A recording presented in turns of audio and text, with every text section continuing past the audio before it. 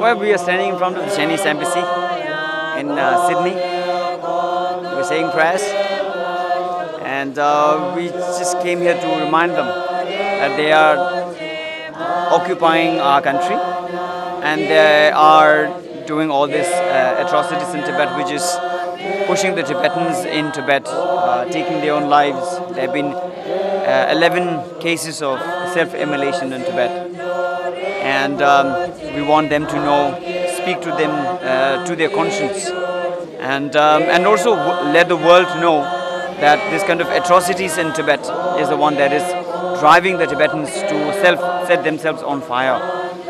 So we are protesting here.